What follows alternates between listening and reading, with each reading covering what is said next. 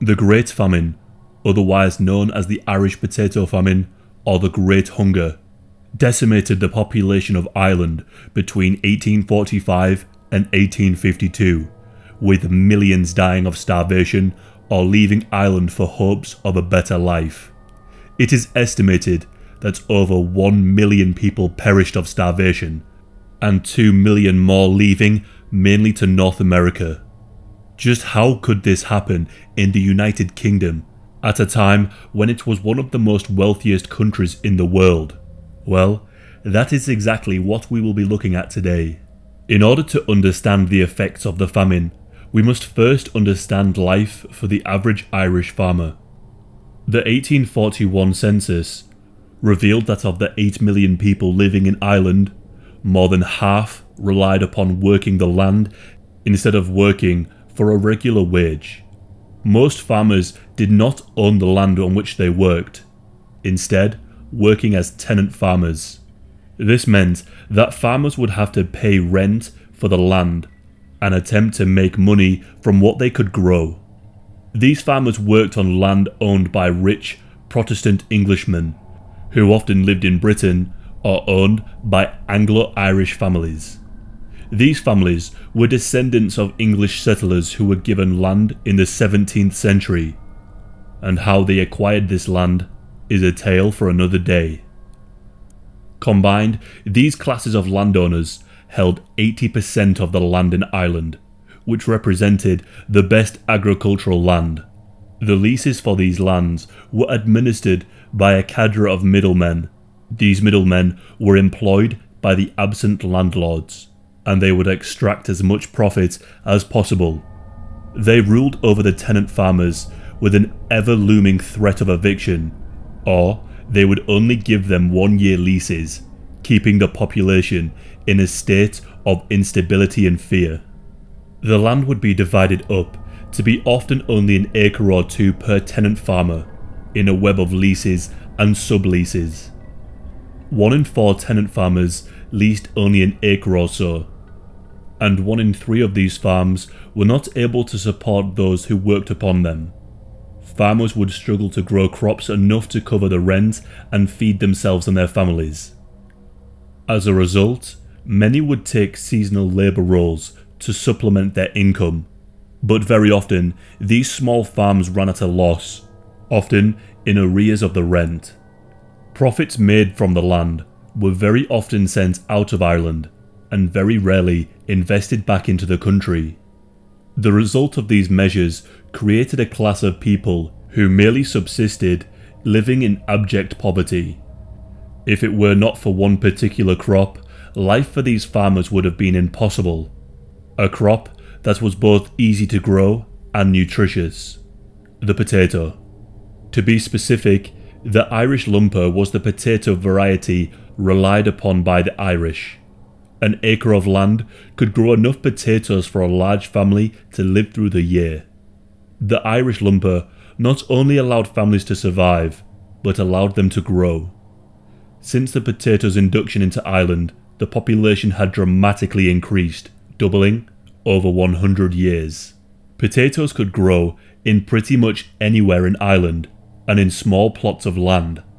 As a result, one third of the arable land was used to grow potatoes. It was estimated that the average Irishman would eat as much as 14 pounds of potato a day. The reliance on potatoes, and in particular one variety, would be one of the reasons for such a devastating famine. A nasty strain of Phytophthora infestans that originated in Mexico made its way to North America and then found its way to Europe with disastrous consequences. The blight would render the whole crop as nothing more than a putrid sludge, a rotting horrid smell, leaving the potato completely inedible.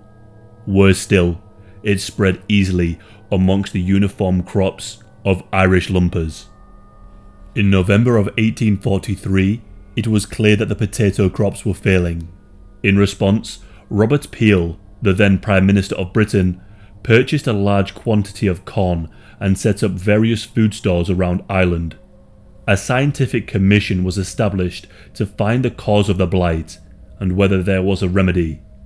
In addition, he repealed the Corn Laws in a bid to encourage the crops that were exported to Britain to remain in Ireland.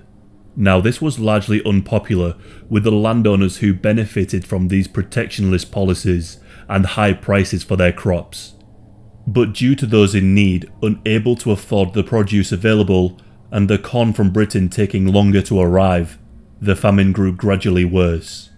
This was compounded by the defeat of Peel's government in 1846. Peel at least somewhat understood the needs of the Irish and attempted to resolve the famine shortly after it started. He was prepared to offer governmental assistance, despite the fact it would have an effect on the profits of the landowners. His successor John Russell had the complete opposite approach. The subsequent government was greatly influenced by the economic system, laissez-faire. To briefly describe this philosophy, it is that the free market without government interference will resolve any issue. By 1847, the civil servant in charge of the relief effort in Ireland, Charles Trevelyan, replaced the food programs with policies more in keeping with laissez-faire ideals. Workhouses and soup kitchens were established, funded by the Irish farmers through taxation, but these were of such poor standard in order to discourage their use. Furthermore, Trevelyan was of the opinion, and was by no means alone in his thinking, that the Blight was the divine intervention to deal with the Irish way of life. Many in Britain viewed the Irish as dependent on the potato, as having families that were too large, and as the wrong kind of Christians, as they were predominantly Catholic. Trevelyan sent a letter to a colleague regarding the potato blight. He said, The judgment of God sent the calamity to teach the Irish a lesson. Whilst the poor in Ireland were starving, the produce exports to Britain did not stop. The middlemen arranged for tons of grain and cattle to be sold overseas. The allure of profit and the free market made anywhere but Ireland the place to sell such crops. The Irish poor could not afford the food, and the government was not prepared to pay the bill. What the British government did arrange was a series of public works where the starving could work to earn money. Roads would be built, often not leading anywhere, where groups of the hungry would work for eight pence a day. This could purchase two and a half pounds of maize. Not much else was affordable. As time went on, even women and children would partake in these works in a bid to earn enough just to survive. This was hard, back-breaking work, made even harder due to the workers' empty stomachs.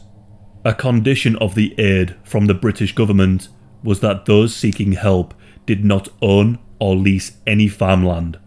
Farmers would give up their homes for a shot at joining the overcrowded workhouses or a spot in the lines to the soup kitchens, huddled together in the freezing cold. In addition, the British government passed a law resulting in the landlords being liable for the arrears of all tenants flowing from the freehold.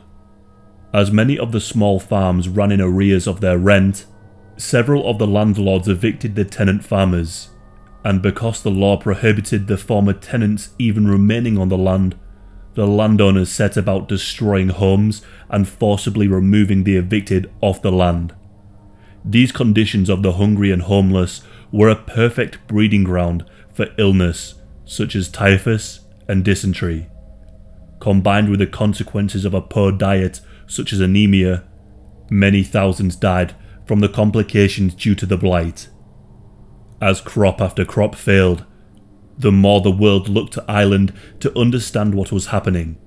One such eyewitness on the effects of the famine was James Mahoney, an artist commissioned by the Illustrated London News, and he was sent to Ireland and reported on what he saw. He recalls stopping in a town, coming face to face with the reality of the famine and a crowd of people eager for aid. He wrote, Amongst them was a woman carrying in her arms the corpse of a child, and making the most distressing appeal to the passengers for aid to enable her the purchase of a coffin and bury her dear little baby. This horrible spectacle induced me to make some inquiry about her. When I learned from the people of the hotel that each day brings dozens of such applicants into the town. Famine breeds a desperation unlike any other, as witnessed by Father Peter Ward, parish priest of the Partry County Mayo.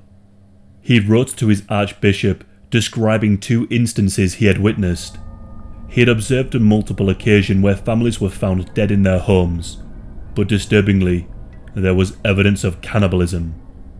To quote the letter he sent, the flesh was pulled from the daughter's arm and mangled in the mouth of her poor dead mother.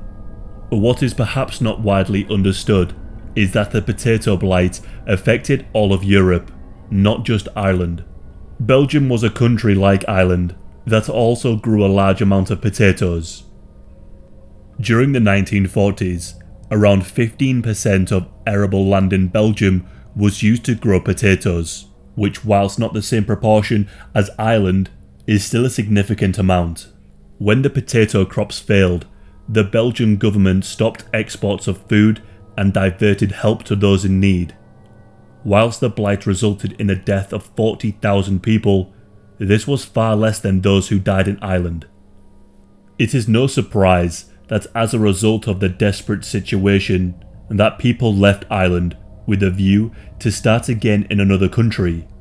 Between 1845 and 1855, an estimated 2.1 million people left Ireland, often on what were called coffin ships. Many of the landowners would opt to pay for their tenants' passage, as it was cheaper than dealing with them.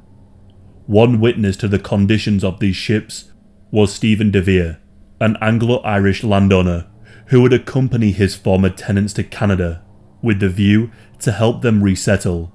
He recorded in his diary the following account of the conditions of these coffin ships huddled together without light, without air, wallowing in filth and breathing a fetid atmosphere, sick in body, dispirited in heart. The fevered patients lying between the sound in sleeping places so narrow as almost to deny them the power of indulging by a change of position, the natural restlessness of the disease. Those who died on board the coffin ships were dumped into the ocean without the opportunity to be given last rites. Due to the poor conditions and health of those on board, the mortality rates were often as high as 30%. Those who arrived in America, Canada, and Australia often faced racism and prejudice, but they had the opportunity to start free from the blight. The Great Hunger drastically reshaped Ireland and the world. The vast movement of people leaving Ireland created Irish populations around the world, and the effects are still seen to this day. In Scotland, Irish immigrants established the Glasgow Celtic football team, a very successful team. Large populations of Irish immigrants established themselves in North America, in Boston and New York, and in Ontario in Canada. Despite the initial prejudice, these populations massively contributed to their new homes. Those who were unfortunate enough to have perished are widely remembered all over the world. Those who left Ireland bringing with them the tales of suffering endured throughout the years. It is important to note, despite some of the attitudes of those in power in Britain, there were many whose charitable efforts saved lives. The Quakers ran soup kitchens and attempted to feed as many as they could. Money was raised all over the British Empire, from a far afield as Calcutta, where the Indian sepoys and the large portion of Irish soldiers stationed there all dug deep. Queen Victoria was chastised for allegedly donating only £5, but in reality, she was the largest individual donor, giving £2,000. Her decision to give money was not well received by the British public. Many British people felt that sending money to Ireland was the same as dumping it into a bog. But it was the money raised by the Choctaw Native American communities that still means most to the Irish to this day. The Choctaw Nation had only a decade earlier been forced on the infamous Trail of Tears, and yet they still donated $174 to the cause. This has never been forgotten, and in 2020, during the recent event, the Choctaw Nation had a particularly high mortality rate, so the Irish government responded with large donations, paying forward the initial kindness. It was not until 1997 that Tony Blair acknowledged the role of the British government in failing the Irish people and apologised for its role.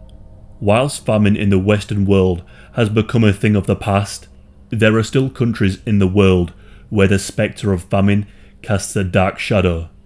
We can look to the Irish famine and the wider potato blights in Europe and decide on how we should deal with such tragedies when they strike.